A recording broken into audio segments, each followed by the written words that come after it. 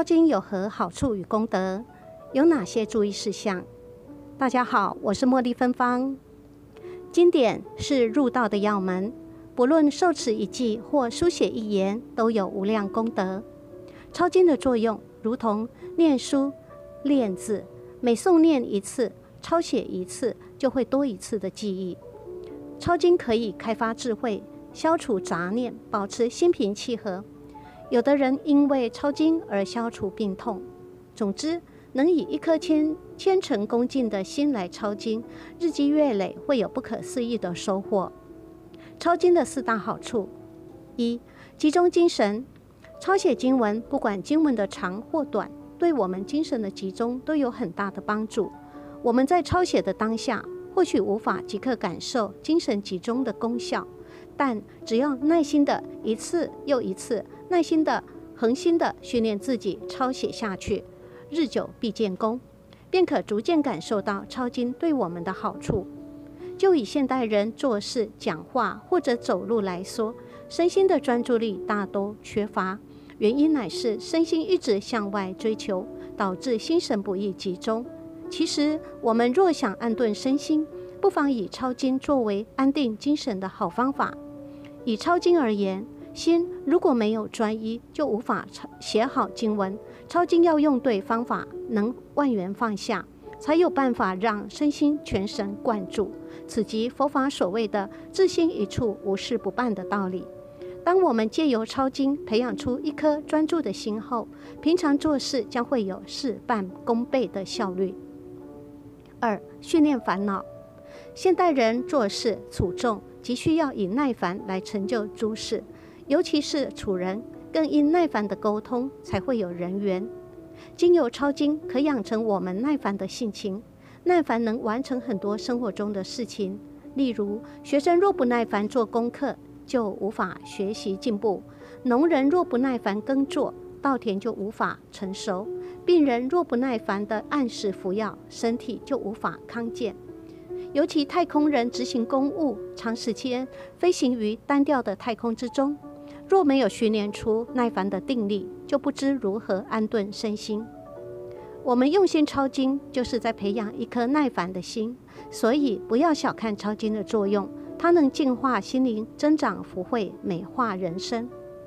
第三，亲近佛法，抄经就是与佛法结缘。今生能直遇佛法是非常不容易的。佛教有所谓的八难，其中生在中国难，指的是有佛法的地方。我们得到人生都已经很难了，更何况又能有大善根亲近佛法，实乃千载一时，一时千载。佛法是无上真理，佛法是救世之光，启示我们人人应明因事果，断恶修善，如此才能改变命运，离苦得乐。而真理普遍存在于这个世间，它具有普遍性、必然性、本来性、平等性、可证性等。例如以无常来说，世间诸法哪样不是无常？我们以花来说，有花开就有花谢；以人来说，有出生就必然会死亡。重要的是，我们如何珍惜生命，运用佛法创造善美的未来。四、增长智慧。智慧是人人希求之宝。星云大师说，拥有智慧的人能看清世间真相，常养善法，而得清净富贵。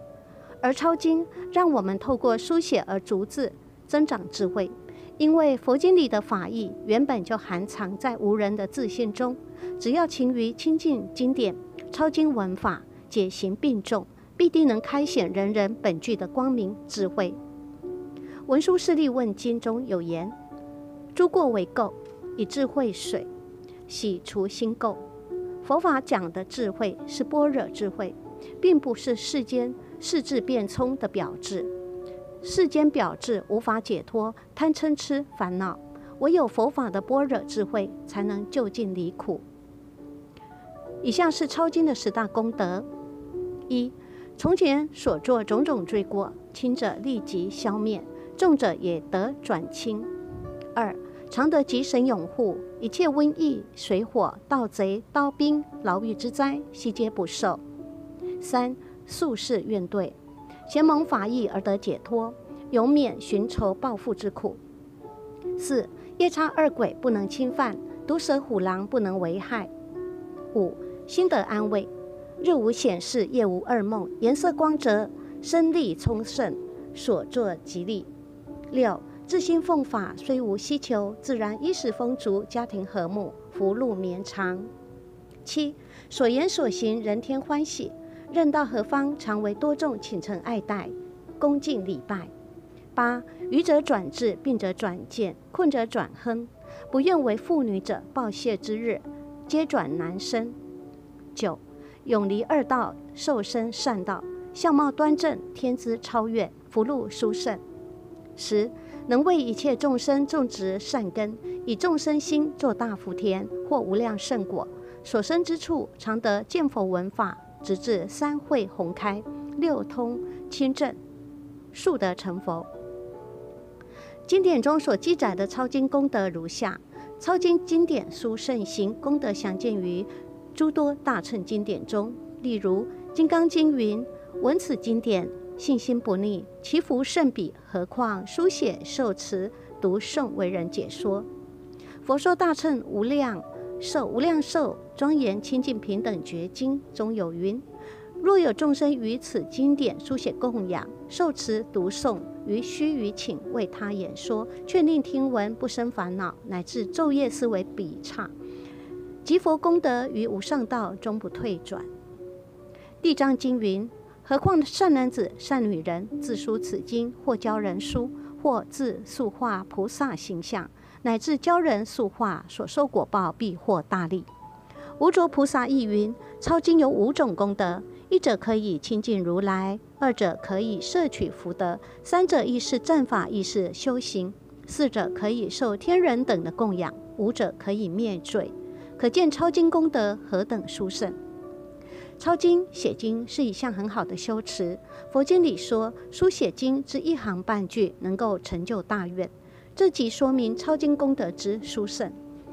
那么，抄经应注意哪些事项呢？当我们在抄经的时候，有很多地方是必须注意的。以下几点忌讳要切记：第一，一定要事前沐手洗手。写经是一次心灵洗涤的过程，而我们的双手是触及万物之表，因此稍写抄写佛经时，一定要双手洁净，目手为宜，否则写出来的可能会污染了经典。第二，切忌字迹杂乱。写经是将崇高的经文一字一字地抄写下来，所以先决条件是字体要尽量书写工整，最好是以正楷书写。第三，切记错字。抄经不是打手稿，也不是随心所欲的信笔挥毫，要一心一意、专心致志，字字准确，千万不要写错字或有脱漏、重复的情形。若有此情形，务必记得尽快修改。四。切忌精神分散，写经要心无旁骛，这正是写经的最重要目标。大家在写经时要集中精神，不要像有些人在写经的时候，一边戴耳机边听音乐，甚至有些人边写经边讲话，或者边写经边吃东西，这些都不是很好的。我们要能够集中精神。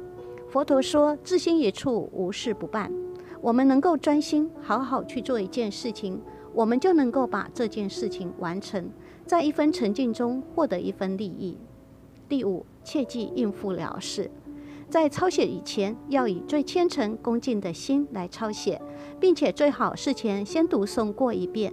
既来之，则安之。禅宗说要活在当下，来到这里就要用最沉静、最虔诚恭敬的心，好好的来抄写。并且最好是能先将佛经读诵过一遍，如此对经典含义有初步的了解之后，抄起经来逐字逐思，将更能融入经典的法义之中。第六，要回向，抄写后、抄经后要记得回向，也就是分享。我们要将写经的功德回向给一切众生，愿一切众生都能离苦得乐，具正知见，乃至就近成佛。不论修什么功德，例如念佛、禅修、出波作物、抄经，我们记得每次做完之后一定要回向，不要自己独享，而要与冤家债主、累世父母、历代祖先或法界众生同享，以开拓自己的心胸，并使功德有名。第七，切记不可半途而废。抄经是一种修行方式，因此最重要的是在于持之以恒，不要半途而废，以培养自己长期的精进心。什么叫做精进心呢？好事善事能够持之以恒，并且养成习惯，就是精进。